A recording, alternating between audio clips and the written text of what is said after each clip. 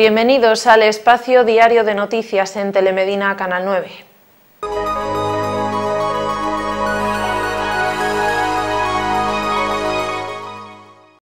Servitrama Transportes te ofrece esta sección. Julián Rodríguez Santiago, el concejal de urbanismo del Ayuntamiento de Medina del Campo, ha visitado las obras del futuro centro de transportes junto con el director de la obra y los responsables de la empresa Crealia y también con el personal técnico municipal. Estas obras, que ven la luz después de 15 años, suponen un nuevo punto de dinamización empresarial para Medina del Campo, especialmente para el sector del transporte. El Partido Socialista y la Unión General de Trabajadores acercan posturas de cara a las municipales. La agrupación local ha mantenido un encuentro con el sindicato UGT de cara a la elaboración de propuestas de mejora de la vida laboral de los medinenses. Dentro de este elenco de reuniones, en principio se han hecho con los sindicatos y en los próximos días continuarán con más sectores de la ciudadanía.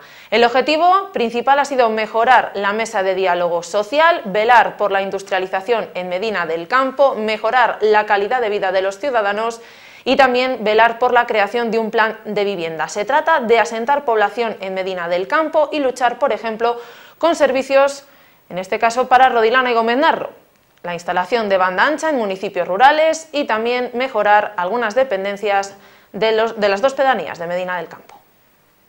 El PP de Medina del Campo solicitará mediante una moción en el pleno de la semana que viene iniciar los trámites para solicitar la reversión de los terrenos del antiguo cuartel Marqués de la Ensenada al Ayuntamiento de Medina del Campo e instar a la Diputación de Valladolid y a la Junta de Castilla y León para que apoyen dicha reversión cuando se solicite formalmente. Durante el año 2018, la alcaldesa Teresa López en la prensa local anunciaba la posibilidad de que los terrenos del cuartel Marqués de la Ensenada podrían ser de titularidad pública, en concreto de titularidad municipal.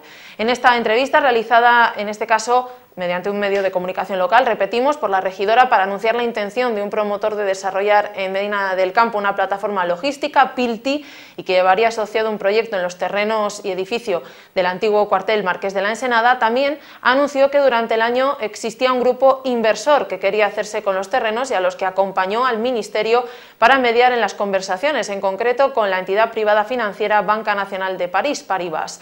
Ahora el Partido Popular pide más explicaciones a la alcaldesa y también esa reversión de los terrenos. El PP de Medina del Campo ya está a pleno rendimiento en la preparación de su programa electoral en la Villa de las Ferias. Han hecho balance también de la imagen que tiene el PP en la provincia de Valladolid y hay un hecho que no ha dejado indiferente a la formación azul. La salida del partido de la alcaldesa de Zaratán, Susana Suárez. La alcaldesa de Zaratán dice que el PP es una formación que está muerta y su presidente provincial, Jesús Julio Carnero, es un cínico en el que nadie puede confiar. Todo esto palabras de la alcaldesa de Zaratán. Jesús Julio Carnero dice no ha acompañado a la agrupación del Partido Popular. Aquí en Medina del Campo han analizado esa marcha de la alcaldesa de Zaratán, lo ha hecho David Alonso para esta casa.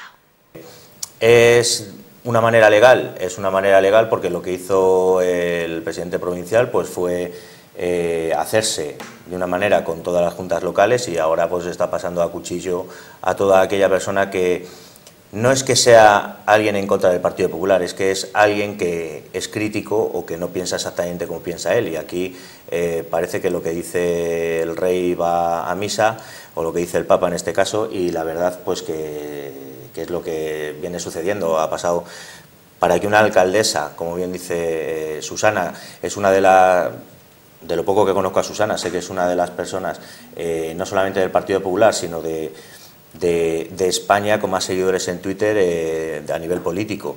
Creo que, ha estado haciendo una gran gestión y, que no sea capaz, eh, cuando ella también se ha propuesto, eh, para decir, bueno chicos, si estoy de alcaldesa voy a continuar, que el Partido Popular pues quiera pasarla legalmente, pero de la manera que te estoy diciendo, pues a cuchillo, como nos ha pasado, por ejemplo, aquí en Medina del Campo, que, que se hicieron de una manera un poco, para mí, torticera eh, con la Junta Local en el momento que, fue eh, Salcedo fue presidente, eh, lo que ha hecho ha sido ningunear un poco a los, a los concejales y al, llegar el momento de, de, presentar una candidatura, de hecho no ha tenido nunca el valor de decir pues va a ser esta persona, va a ser lo otro, para que nosotros nos pudiéramos haber retirado con una palmadita en la espalda y habernos ido a nuestra casa tan a gusto, sino que simplemente lo que buscan además es hacerlo de una manera eh, sucia y, emborrosa.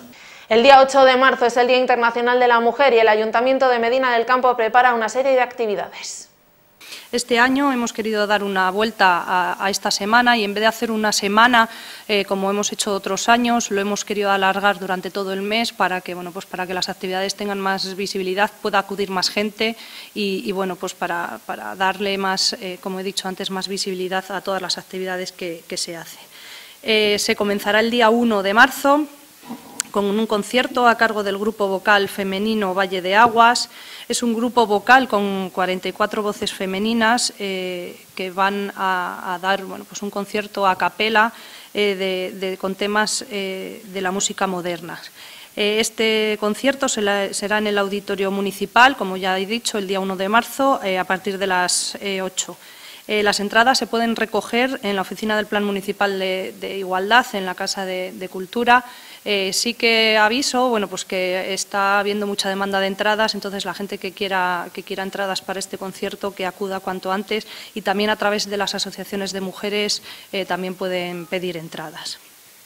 La siguiente actividad y más importante y más central, porque es el día 8 de marzo, eh, se convoca a todas las mujeres y a todos los hombres de Medina y de, la comarca una concentración, manifestación eh, a las 12 de la mañana en la Plaza Mayor de, Medina, en la que se leerá el manifiesto que, como un año más, eh, ha confeccionado María Ángeles, que está conmigo aquí, a través del Consejo Municipal de la Mujer. Y ese mismo día por la tarde, en la inauguración de la Semana de Cine, también va a haber una imposición de lazos morados a todo el mundo que, acuda a la inauguración de la semana.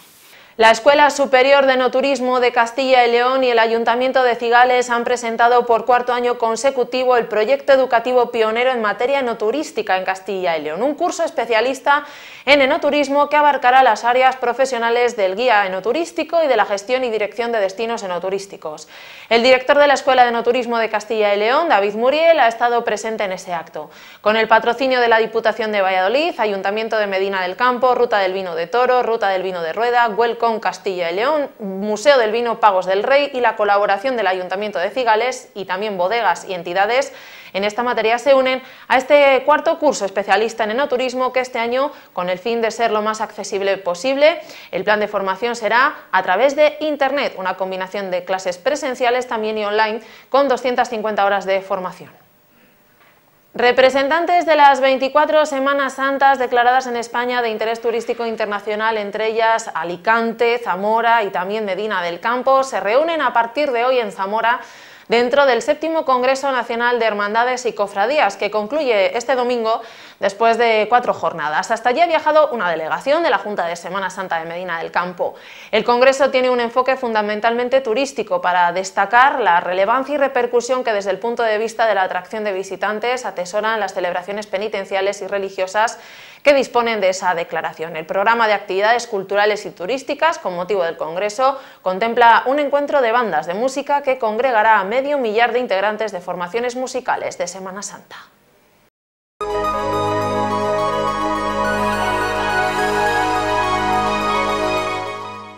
Carpintería Metálica JSV. 20 años cumpliendo puntualmente con nuestro compromiso por la calidad. Carpintería Metálica JSV patrocina esta sección. Preocupación entre los vecinos de Matapozuelos por la instalación la pasada semana de unas antenas de telefonía móvil en lo alto de un silo ubicado en el centro de la localidad. Según han informado fuentes de la plataforma vecinal constituida, bajo el nombre Plataforma No Antena Matapozuelos, la instalación no contaría con el permiso municipal a través de la preceptiva licencia de obra mayor, algo que les habría transmitido el lunes durante el transcurso de una reunión el propio alcalde Conrado Iscar.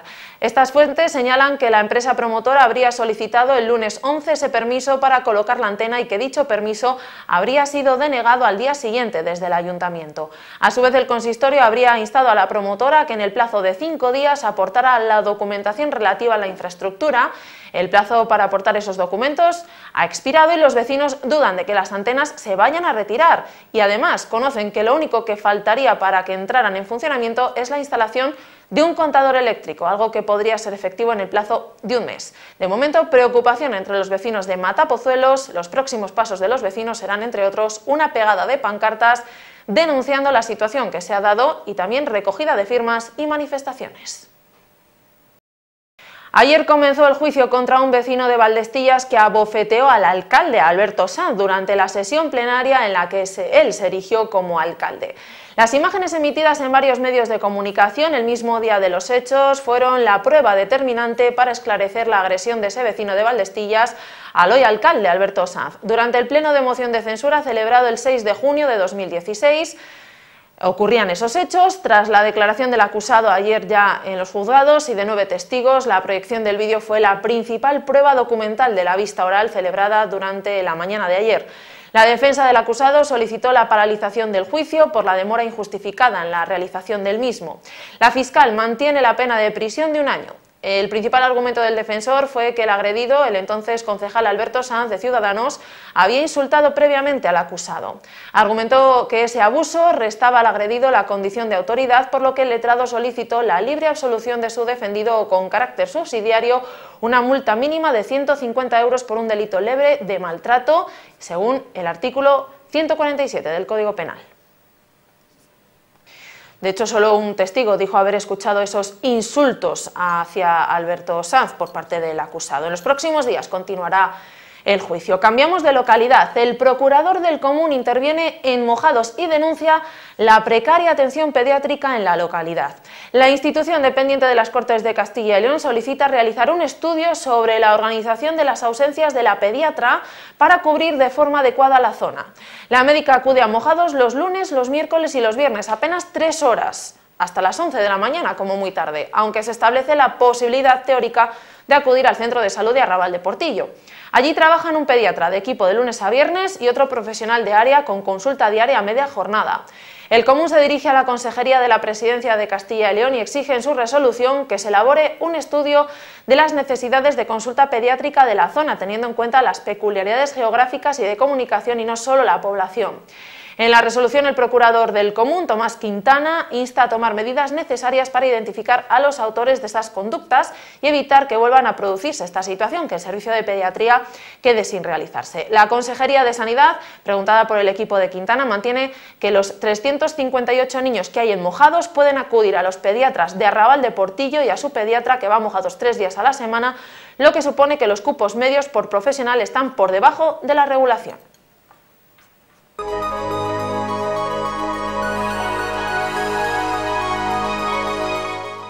Agora Broker patrocina esta sección. Repaso a la prensa, empezamos con la voz de Medina. Rulo y la contrabanda completan el cartel de músicos en la naturaleza 2019. Matapozuelo se levanta contra la instalación de una antena en el silo. La Guardia Civil investiga a una persona por un supuesto delito de amenazas. Medina del Campo acogerá el campeonato de kickboxing de Castilla y León 2019. El norte de Castilla, Medina del Campo, estudia abandonar la recogida selectiva de residuos de la mancomunidad. Acuerdo sobre el conflicto laboral entre la policía local y el Ayuntamiento de Medina del Campo. Vinetur, presentación del nuevo curso de la Escuela Superior de Noturismo de Castilla y León en Cigales. Y Diario de Valladolid, atropello mortal en Olmedo y un herido grave en Cigales.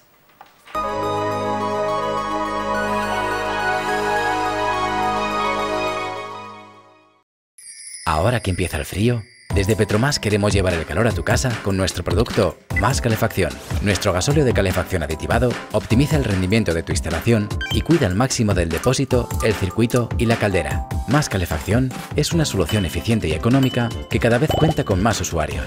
No esperes el último momento. Entra en máscalefacción.petromas.com o llámanos al 983 81 1000. Plaza del Pan 7, Medina del Campo. Más Calefacción. En cuanto a la previsión del tiempo, para este fin de semana van a subir los termómetros hasta 20 grados de temperatura máxima a partir de este viernes y se van a mantener estables por lo menos hasta el comienzo de la semana que viene. Los cielos se van a presentar cubiertos, eso sí, para el fin de semana, pero sin probabilidad de precipitaciones. Puede que se produzcan algunas nieblas de cara a la noche. De momento las temperaturas mínimas siguen siendo bastante buenas en valores positivos de temperaturas de 2 grados de mínima. Para próximos días el viento permanecerá tranquilo, lo que va a hacer que esta situación atmosférica llegue por lo menos hasta mediados de la semana que viene.